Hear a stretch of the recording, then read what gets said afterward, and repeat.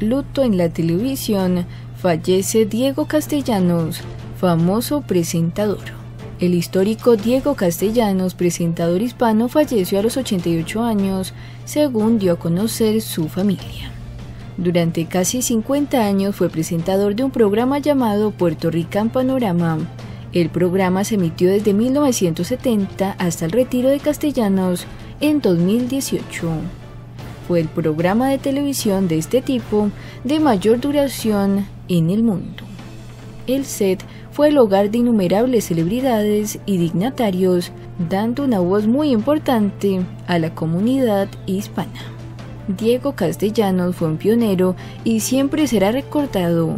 Gracias por compartir tus conocimientos, noticias e información en español con todos nosotros.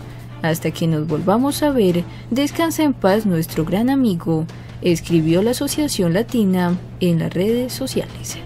Hasta el momento no se han dado a conocer los detalles de su muerte.